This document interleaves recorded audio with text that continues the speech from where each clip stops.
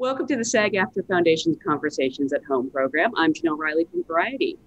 Before we're joined by our guests today, I want to let you know that the SAG AFTRA Foundation is a nonprofit organization that relies entirely on donations to provide emergency assistance and free educational programs to SAG AFTRA artists. This conversation is made possible thanks to the generosity of our supporters. Just over the last year, the foundation has given over $6.5 million in COVID relief to more than 7,000 performers. So if you are a SAG AFTRA artist and you need help, please ask. And if you can help, please give. Information can be found in the description of this video. Thank you for your support. And now, without further ado, it is my pleasure to introduce the cast of the hit Peacock show, My New Obsession, Girls Five Eva. Please welcome Sara Bareilles, Renee Elise Goldsberry, Busy Philipps, and Paula Pell. Thank you all so much for being here. Thank you for having us. Yes. Um, I'm going to rave a lot about how much I love this show. But before we get there, I actually like to start at the beginning because this is an audience of SAG AFTRA actors. Um, how did you get your SAG card? What was the, the job that, that brought that special piece of paper to you? Um, and let's start with Busy. The pilot of Freaks and Geeks. What? Yeah, I had um, been Taft Hartleyed for another job, um, a commercial, I think, when I was in high school in Arizona. And, or maybe I hadn't even been Taft Hartleyed. Anyway, all I know is that I didn't have the money to join SAG because I was a college student. I was 19 years old and a college student. I worked at California Pizza Kitchen. And my manager, who had signed me when I moved to Los Angeles, Lorraine Berglund, paid for my headshots and paid my SAG entrance. Good fee. for her. Wow. Yeah. I know she was an incredible woman. She actually passed away two years ago of breast cancer. And I was so grateful. We didn't work together for a super long time and she ended up moving back to England, but I kept a little bit in touch with her and I was so grateful to be able to um, really thank her and her family before she passed away for everything that she did for me. So sweet. Wow. wow. Paula, what about for you? You know, I when I was out of college and I was in or back in Orlando, I believe I got my maybe got my SAG card or maybe Taft Hartley uh, during um I was had a little teeny part in a show called Super Force in the 80s. I I forgot who was in it, but it was kind of like a superhero type thing. And I just remember doing what I did basically in every small part I ever did, just come running out and go, Christine, no. that was pretty much my my mo i was always trying to like you know yell to my daughter down the well or like you know yell to my son in a burning building um and i also got um was the victim in um, uh, America's Most Wanted. That was that was also a, a very intense. A lot of non-comedy things I did a lot of on television. A lot of more uh, small things. But I was I was in all that on Nickelodeon. But I don't think that was that was a a union gig at the time. You're right. Renee, how about for you? Um, I was blessed with a very very small um, part on a show called an American Dream, the Michael, the, the Jackson Five story. Wow. Uh, I was at, at, I was at Carnegie Mellon University, and I just think it's just how God blessed my life because I, I was able to graduate with an equity card because I had been in Ma Rainey's Black Bottom at the Pittsburgh Public Theater, and um, that SAG ta- that SAG Taft Hartley from the fact that there were productions in Pittsburgh and they needed um, uh, some girls to lip sync and to uh, the Supreme song. Um, where did our love go? Um, in a talent competition where we were you know where the jackson five beat us. Um, but uh, but yeah the opportunity to do that and to be able to move to new york and los angeles with that card was a dream come true. That's wonderful. And sara for you so I think I got it. I mean, to be honest, I think I'm just, I tried to Google it. I don't know.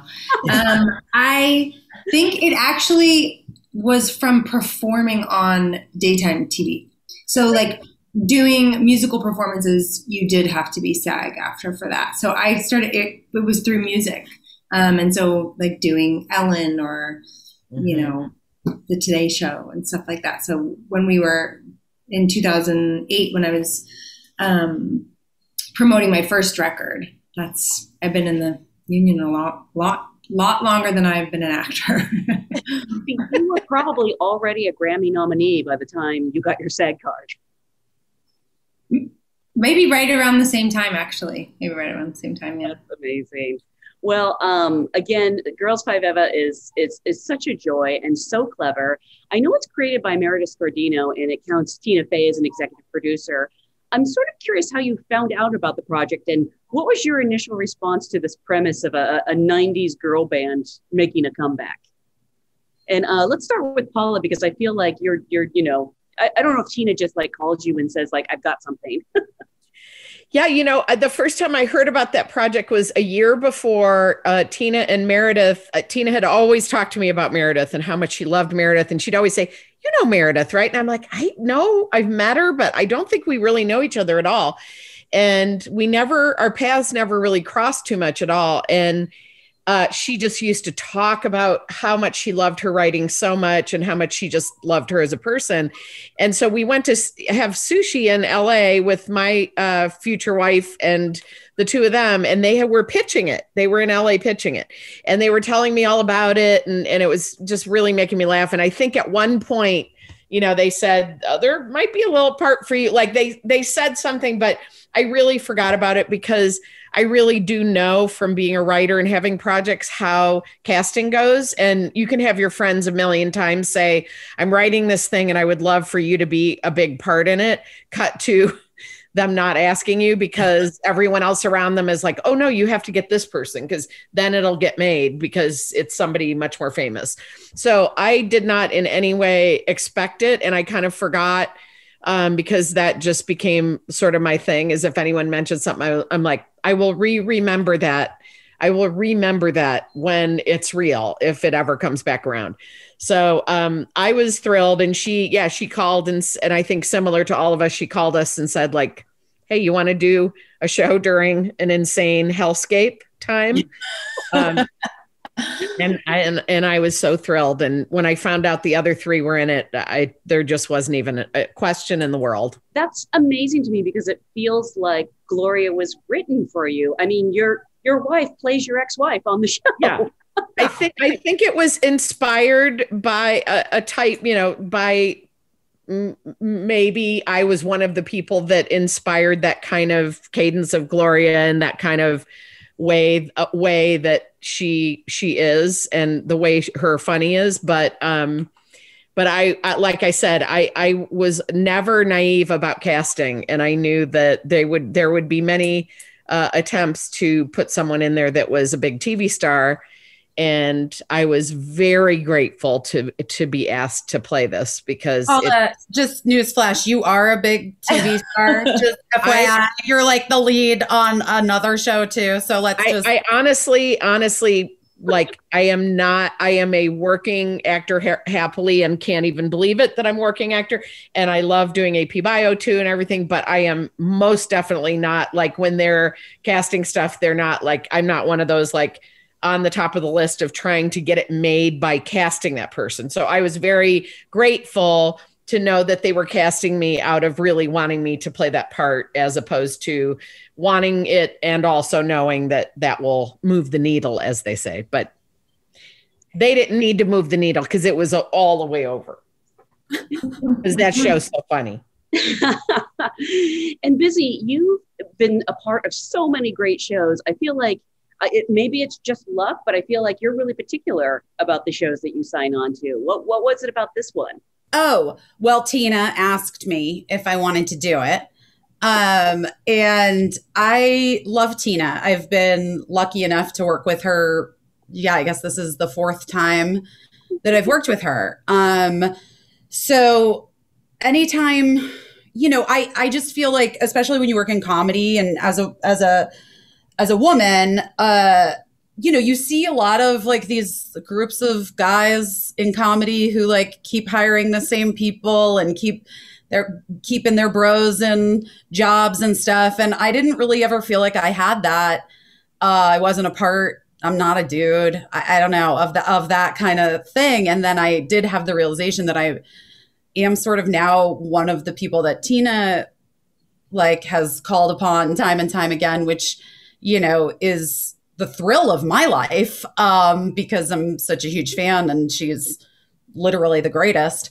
Uh, and I always respected that about uh, about her and and Paula, like all of your your gang from SNL. You know, all of the women there, Anna and Rachel and and Amy and um, you know Maya. Like I just so at this point in my life and my career, I I'm very particular about acting jobs. It takes so much out of you, and it takes so much time away from my family and my kids are fairly young, but they don't stay that way for very long. And so I'm a little bit of conditions must be perfect actor. And um, that being said, anything Tina asks me to do anywhere, anytime, I'll do it. And Renee, what was it like for you to get that call, and particularly to play someone who is, oh God, just such a over the top but lovable diva? I don't know if you know people like this, if you based her on anyone, or what was sort of your reaction to reading about Wickie?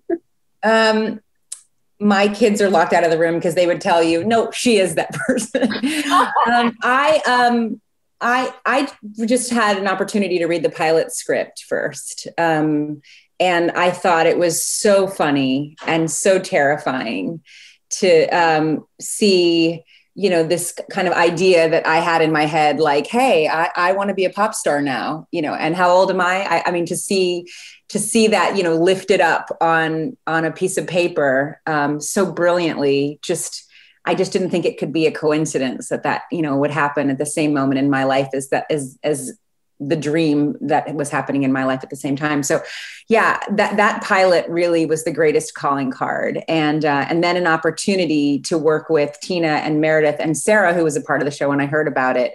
Three women who I just think are so powerful, and I just knew there's so much to learn from them. It was a it was a dream come true. How do you humanize a character like that, though? Like we we love Wickie, but if you think about some of the things she does, it's so terrible. You know, um, I don't know that I, I'm, I'm never so worried about humanizing somebody because I life is so i think what, what's what's wonderful about human beings is how flawed they are. And um, mine are so so obvious to me all the time. And uh, and what's beautiful i think you know they're, they're brilliant comedy writers but baked into these characters is is a uh, is like a certain pain and a certain longing and a certain need uh, and, and, and a vulnerability even with the biggest diva in the group. There is such an she you know in the very first episode they don't hold back. They show immediately how vulnerable and how desperate she is.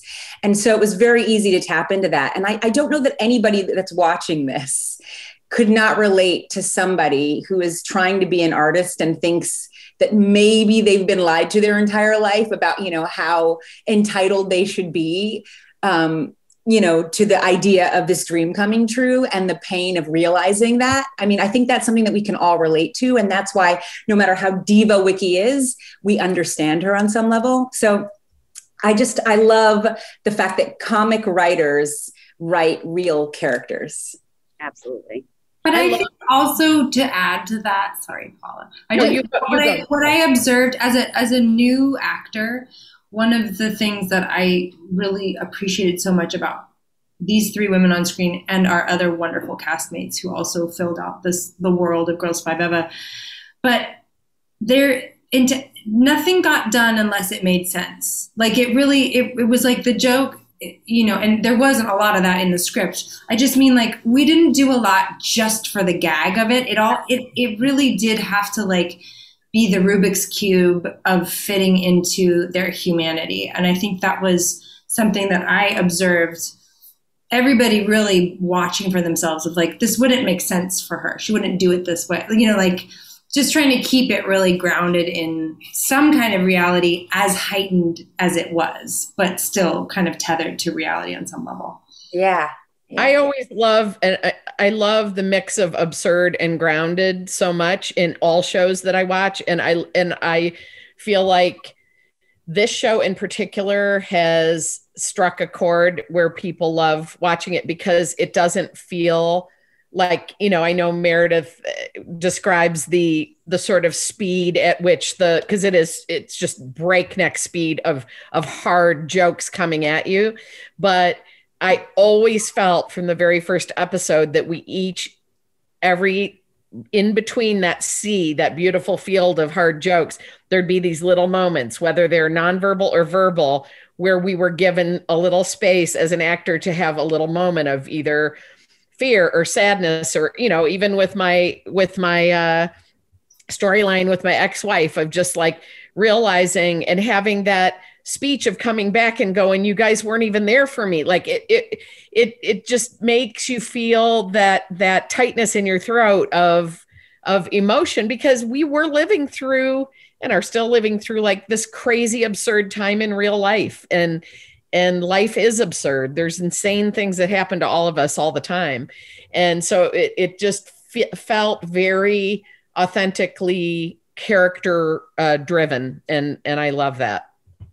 And it can be in the same scene. Like one moment i'm laughing hysterically about an invisible piano and then it's this beautiful metaphor for you know why she needs to hold on to it. And you know i, I was really hoping actually you would have the invisible piano behind you but maybe you oh, do. it's there there. I knew it.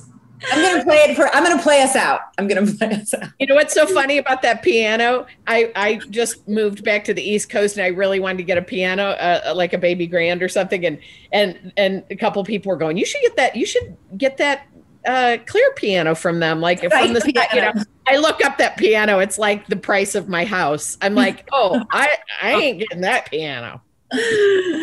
Um, Sara, I'm curious because I've been fortunate enough to I see you on stage a couple times actually, and so I knew what a fantastic actor you were. But I think people were almost a little surprised because you're you're such a good singer. It's almost not fair that you can act and do comedy too. Um, and your first series out of the gate, you know, you're you're the lead in a Tina Fey produced show. Um, was there any fear or hesitation in sort of taking on this role? Oh my God, yes. You crazy? Yes, I yes, yes. Terrible trepidation. But what I have learned to do, and this is good advice that I've been given along the way, is like you have to believe the people that believe in you. And Tina Fey is not gonna hand me some shit that she thinks I really can't do. So I look up to her and I believe in her taste. And so that was part of you know, taking a big leap of faith. And I have made decisions, you know, as an artist in the last, mm, I don't know, maybe the last six or seven years. I keep going towards the things that I find to be a little more fear inducing because I find that as a human being, those are the spaces I'm actually experiencing the most growth and the most satisfaction frankly. I just i i don't have a lot of interest in sort of swimming in familiar waters because i don't find that the part of me that gets activated and feels creative and that part of me that wants to reach for something is a more interesting place to be as an artist. So um, the scary thing is that you know you're not going to come out the gate being what you hopefully will grow into um, and feeling safe to make mistakes. And I was in wonderful hands, you know, a- across the boards. My scene partners in every single scene in, of this show were so loving, generous, capable human beings who were always encouraging me to like, you can do this, you can do this. But I had, I've, I've cried at each and every one of these women, and you know, like, yes, plenty of fear, plenty of trepidation, but I'm sort of of the mindset that you have to feel the fear and do it anyway. There's but a book you know, about it. But you know, I have to say, just as somebody who I've done this for, uh, we already went over it, but I've done this for a really long time.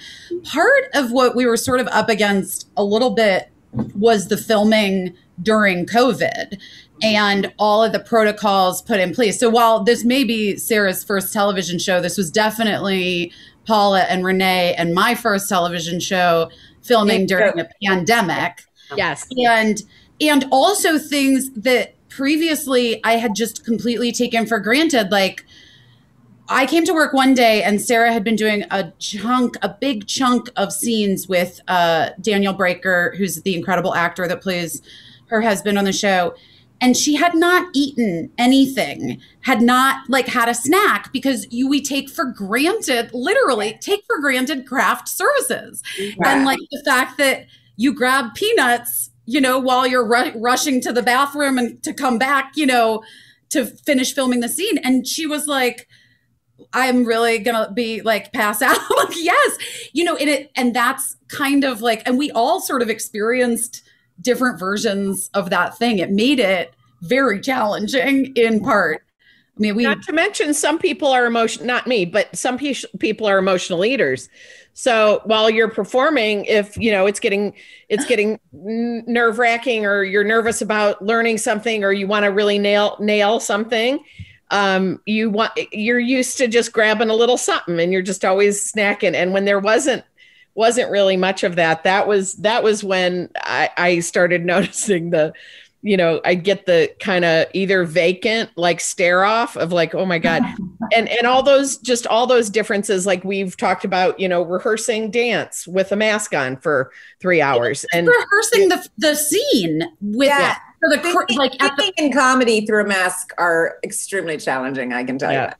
I Yes. remember our first scene that we shot together. Well, Renee, I don't. You wait, was Renee or was Pa- I anyway? was not there. you were not in it. Yeah, it was the three of us. It was Sara and Paula and me. That was my first scene, and Jonathan, um, who plays our old manager, and. I was all of a sudden, I'm like, I can't see these people's faces. I couldn't remember my lines. Like, I was like, what is happening to me? I guess I've lost it, you know? And then turns out you just have to take the mask off. It's fine. It's also getting any direction from someone who is not only in a mask but also in a face shield. It's disorienting, and you're like, "Where is the sound coming from, and who is Yes. talking to me?" And I can't I can't hear well anyway. So having masks and not being able to like look at people's uh, mouths when they're talking and and not knowing whether they're sneering at you behind the mask. the joy the joy um, i think i think we it's kind of a bit like high, high altitude training to go through as long as we did with masks on and separated from each other even on set you know and then between action and cut to take the mask off and get to be with each other. I think that is one of the reasons people say you know why is the show doing so well? There's a million reasons but one of them has to be how much we appreciated just being able to be on a set together even if we weren't talking whether we were singing whether we were dancing just to be together was um, we were so grateful and we so appreciated in a way that we never had before. And I, I i believe i see it. I see that that that's part of the chemistry of the show. I think we didn't have the normal amount of the such what I find so fun about acting in between is the time in between when you sit next to each other and you're waiting for the next setup and you're really getting to know each other and you're really bonding and you know oh my god did you sit here's my dog and blah blah blah you know oh my this is my daughter. Like everyone's always looking at each other's phones and in each other's oh let me taste that. Like it's very intimate and we didn't have any of that because we kind of had to like go in our dressing rooms and kind of sit far away from each other. So when we were unmasked and on camera we were just in between any second we could. It's like oh remind me to tell you this like we were just like little mice all the time that were always like whispering to each other. And because we finally got a chance to communicate you know it was real sweet Did any of you know each other before the show began? Because the chemistry is so ingrained and it feels instantaneous. I knew I knew Renee through sisters and uh, through co-op, which were you know collectively not that many days together. And in in sisters there were 150 people there, so I didn't really spend too much time with her. Co-op we spent an intense two or three days together, eating dinners with Richard Kine and laughing our ass off. And to, that to was know amazing. Paula for one hour is, you know, there's that's like I mean the beauty of her is um, that's about all you need. She will tell you everything about herself, and she will love you. Completely. MRIs. I'll I'll really go deep. Yeah. But she'll love And- you completely in that amount of time. It's it's a beautiful gift, and and and I and I can say that the same about the rest of them now, having had an opportunity to spend this time with them. I mean, it didn't. it was it didn't take more than an hour to know that you know I had struck gold with these women. I only knew I only knew Busy through being on her talk her wonderful talk show for Wine Country. That was kind of the only time I've ever really ever spent with Busy, right? Busy. Yes, but I was like, such, no, you were in an entire series with me, and you never spoke to me. I that's true. I no, but I was I'm such I was such a huge fan of Paula's, and and actually, is totally right. You did you were just on the Wine Country episode of Busy tonight. All the ladies were but like I felt like you left and I was like, oh, Paula's my new best friend. No, we felt like we bonded on there because we did a lot of games and activities and we drank and everything. And then Sara, I did not know at all, even though I absolutely adored her work. And she came in with these little 90s pigtails into oh my, my dressing room and stood in the doorway the first day. And I was in the dressing room, kind of nervous, you know, getting myself together. And this mask, these pigtails. And she's like, hi. And I'm like, hello. Had no idea who it was. And I'm like, I just thought it was like somebody on the crew that was saying hi, you know, that's going to work with me. And I was like, and she she said, "Oh, I'm a I'm a big fan." I don't know if you said big fan, but you said I'm a fan or whatever. And I go, "Oh, thank you. That's so sweet." No, just didn't even say it back because I didn't know who it was. And then we go to shoot the next scene, and I see the pigtails from her from behind, and I was like, that was Sara. oh my God, Paula. I've ruined my first meet cute with Sara no, It's a better story this way. I love it. So good. I mean, I it might have worked out. I would be very intimidated. I have there's no one I karaoke more than Sara Bareilles, so I, I, feel like maybe that's a good way to have an intro. Wow. And and I'm not a good singer, so I apologize. I usually make people sing one of my what's my what's your favorite song of mine? Brave. In fact, I'll do it now. No, I won't. um, actually, this is something I'm really curious about because I know we're we're you know sort of having a return to normal, but uh, the show has already become so popular. It's been out a little less than a month. Are you at that point yet where people are coming up and, and quoting it to you? Are they saying you know cease and desist or you know is have you realized that it's become part of the pop culture vernacular already? Oh my gosh. That, I haven't. But I, definitely people I, I I I tend to think if anyone's doing it, it's because they're my friend. Do you know what I mean? You know, um, you know, it's I, I remember in Hamilton, uh, Phillipa Soo said one time about, you know, people used to always ask us, you know, um, did you know it was going to be this successful? Did you know it was going to be this great? And she had this really brilliant answer. She was like, you know, we feel this way about everything we do. it just happens to be that this time it seems like more people agree with us. Um, and uh, I just, I take that with me everywhere because it, it's absolutely true. Everything feels that way. This definitely feels that way. So I, uh, I tend to try to keep my my expectation down in terms of people feeling that something I'm a part of is as iconic as I think it is. um, um, but I, but I, I can't believe, and I love the fact that I did this show because I just believed in it, and I thought it was beautiful thing to do in that season of COVID and life, and. Um, and the joy that it gave me is so contagious and that there and that when people do quote a line to me it is always a different line you know, there are so much quotable about this show that every single person says something to me different that they love. And that's just as a testament to the writers of the show. They're brilliant. Agreed. we have so many actors watching us, obviously, and uh, Girls Five Eva really it, it really does you know deal with some dark material about how women in particular ha- can be treated in this business and and how challenging it is. And i'm curious um, as you know successful artist um, if there was ever a time that you you know sort of came up against a struggle that made you consider leaving the business and sort of how you pushed through that jenelle i wrote a whole book about it i know i've read it yeah so pick one. I mean, uh, losing the job after I had my first child because the network said I was too big, I was too fat. Fat was the word they that came back to me. Um, was really, really disheartening, and I cried for days. Um, and then I got Cougar Town, so you know, Yeah. You keep going. Like it's, you know, I mean, very soon after, maybe two months after uh, that had happened. And I remember being so uncomfortable about my body because I had obviously just lost this job. Anyway, I was wearing like I was like double spank. I had like Spanx on from my pinky toe to like right below my ears, like you know, for my network uh, callback. You know, the test for my network test. And I said something to Bill Lawrence, the creator of the show, about my bot. I was like, I just, you just so you know, I can like lose more weight, like just you know. And he was like, what? Wait, what? What are you talking about? Literally, what are you talking about? And I was like, it's just, I just, you know, Birdie is only five and a half months old, and I did gain a lot of. And he's like, whoa, whoa, whoa, you know, I'm married to an actor, right? You know that Christa's had three of my three children. Like, you look amazing. I didn't, I, no one's talking about that. And I was like, okay.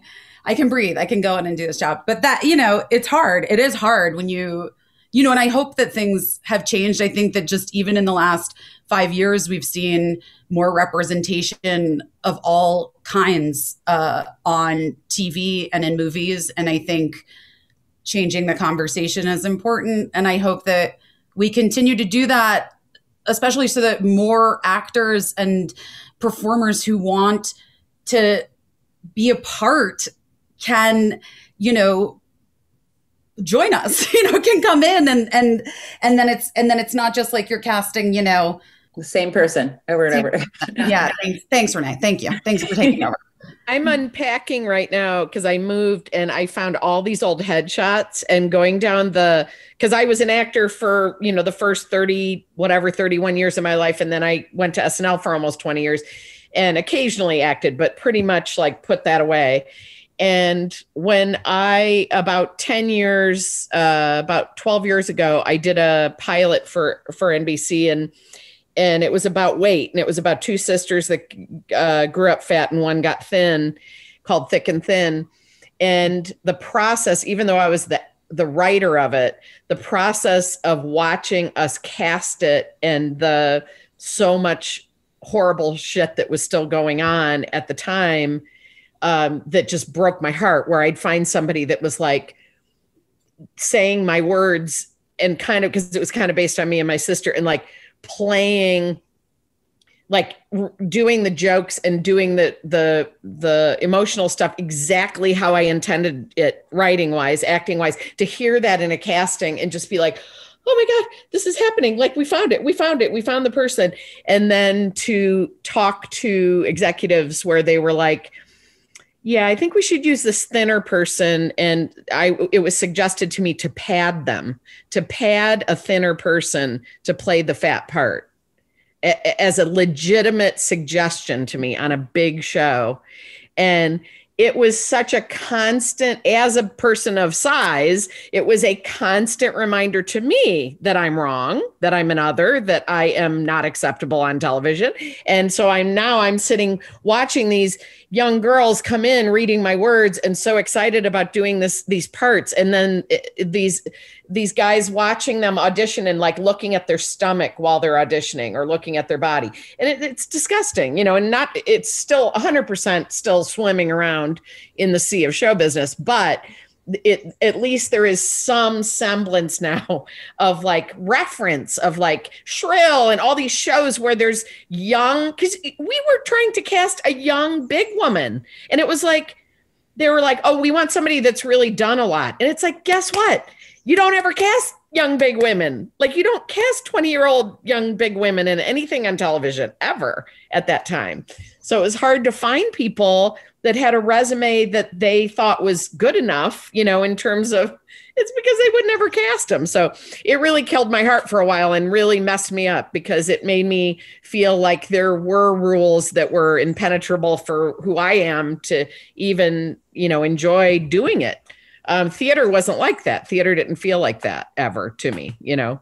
I'm sure it is in the deeper parts of it, but it didn't feel like that to me as much as that camera you know film and tv with fat but i will jenelle can i just say this because i know there are so many actors that are watching and i know that this is really this is hard to hear.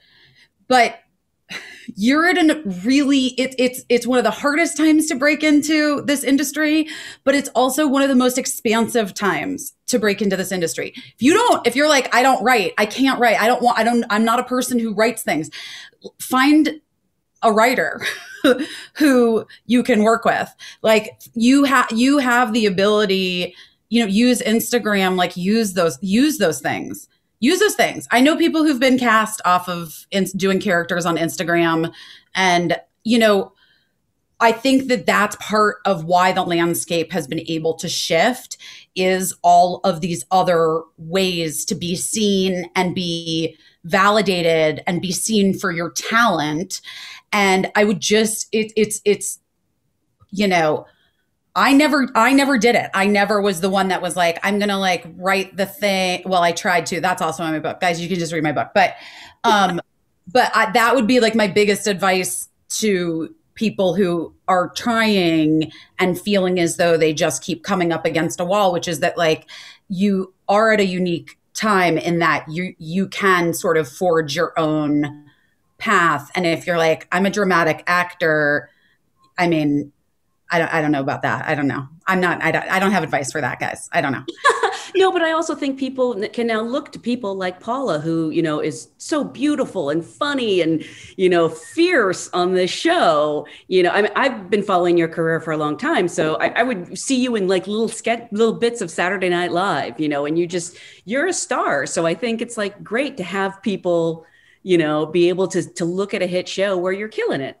Well, when I mentioned those headshots, I found a headshot that was I had lost 100 pounds about three times in my life 190 and 80 I think. And and they were within 6 years of each other. And and I have this headshot of me after losing 100 pounds. And I'm just like and I mean I I look at first glance you're like oh that I looked really good because I was just very chiseled and very like you know eh, but I looked so dead-eyed but also as an actor, a young actor, I was then only going on auditions for like the the young wife of a young child and a bank commercial or it wasn't the stuff that I loved. It wasn't it wasn't character stuff. It wasn't like earthy character shit that my comedy worked well with. And and and it's like you'd fight to be looking like something that people tell you you should do so you'd get more successful to be successful in something that you don't even want to do. It's such a strange right. world. So now I think speaking to what Busy's saying is to embrace who you are right now in your body, what makes you feel funny and what makes how you like looking and then find the ways to have people see that as opposed to try to change what you look like to make you look like someone else because that doesn't i'm sure sara can speak to that musically is like trying to sound like other people or it's just that's not the way you know that's not the way to do it. speak yeah. to the appearance stuff of- i think especially as women i think we, we just get we get put through this machine. I have endless stories of uh, starting with my very first tv appearance where I, I had picked out a thing to wear and i showed up and there was something else there that the label had decided I was going to wear something else than the thing I had picked out. And let me tell you who lost their shit. Mm-hmm. And I think what to the to what I want to say is that I'm so grateful I didn't give up. I'm so grateful that it only ever sort of sharpened my resolve and made me super stubborn and probably kind of an asshole to work with for a long time. I love all three of you so much because you're all so clear on who you are and what bullshit you will not take. I'm just going to yeah, say that. I think that's and like Jenelle. I don't know you well enough, but I'm not. I'm right. not. In fairness, so I'm working on it. I think we're all always working on it, but I'm so I'm so glad to have metabolized those experiences as something that only sharpened what felt in alignment for me and no and it doesn't mean I didn't make lots of mistakes. I have plenty of stories about that too, but you know, we're just we're we're we're working out. We're doing our best. Busy, we're doing our best. Yeah, that's my the name of my podcast. I love um, you know, as a as an actress of color, people ask me all the time, you know, can you talk about experiences and frustrations you've had and discrimination coming up in the business and um, I think maybe because uh, I've been a person of color. Um, so, you know, my the discrimination I, I felt wasn't specific to acting. Um, I already, you know, kind of, you know, was operating and living in a world where I kind of understood, you know, what I was going to get in terms of opportunity. And, and I had made some decisions about how I was not going to react to that, how I was not going to feel more competitive with other women of color, but actually lift them up. Like I'd already made some decisions. So those things were a little easier for me to, to manage. I think what I love so much about Girls5eva is um, the thing I found the most challenging, the elephant in the room was aging. As a mm. woman, aging in this business um, felt like something I had less control over than um, anything else, even though clearly I'm not going to not be black. Do you know what I'm saying? And um, and and that's what I love about this show and the um, audacity of these women to cast for women, you know, in this age group um, and not deep fake us when we're playing that we're 20 years old you know you know i mean like to, to let us play in this realm at this age my hope is that it, it is an example. I hope my career is an example. I hope this show is an example and the fact that this is happening that, that women of this age get to have this fun and and get to be on this press tour i hope it is an example to all of the people because ageism is not something that only affects women.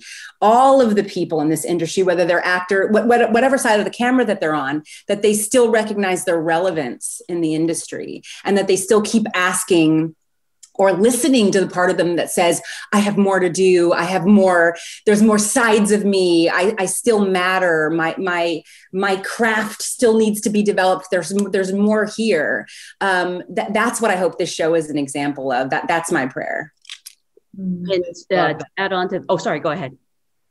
Oh i just said i love that no, um, and uh, Renee, I have to say, I've watched your Tony speech whenever I'm feeling a little down, and it, it, it reinforces everything you just said, which I love. And I am so sorry we're out of time because I could obviously go on for hours. Um, but I do want to thank you so much for being here, for sharing your experiences with your fellow actors. And again, congratulations on a fantastic show. Thanks. Thank you so much. Well, thanks for the support of it. And we are so excited people are enjoying it.